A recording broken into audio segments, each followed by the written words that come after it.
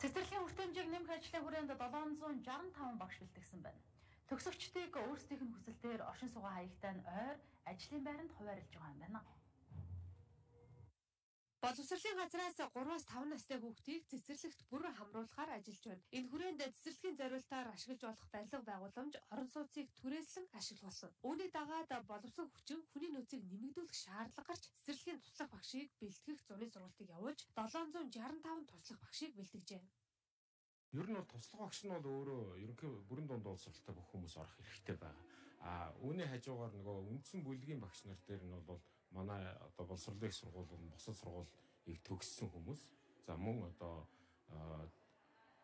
дөрөвдүгээр ангийн буюу төгсөх ангийн оюутнууд бас энд оролцсон юм байна. Ерөнхийдөө бол сургуулийн өмнөх боловсрол буюу одоо бага насны хүүхдүүдийн талаарх одоо мэдлэг боловсролыг олж мэдсэн. Одоо хүүхдүүдийг хэрхэн одоо сургууль хүмүүжүүлэх одоо мэдээж одоо 2 настангуудаас ахгуулаад 5 5 настан хүртэл бид нар сургаж авч сургаж байгаа. Тэгээ 2 настангуудаа одоо суурь хүмүүжлийг бид нар анханаас нь зөв тусгаад өгчих юм бол цааш таашдаа тэр хүүхдүүдийн одоо амьдралынх нь одоо байр суурь нь одоо жиг тавигдаад явчих болов гэж бодож байна.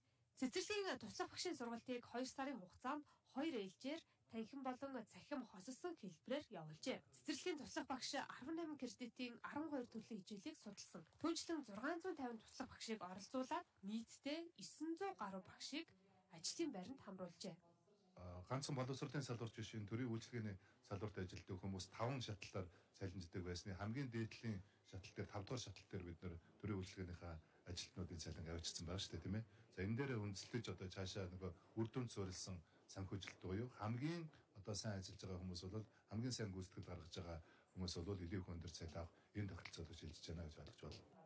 Цэцэрлэгийн насны 305 мянган орчим хүүхэд байна. Үүнээс 80 орчим хувь нь цэцэрлэгт бүртгүүлээд байгааг салбарын сайд хэллээ. Цэцэрлэгт хамрагдаж чадаагүй хүүхдүүдийг 11 дугаар сарын 1-ээс өмнө хамруулах юм байна.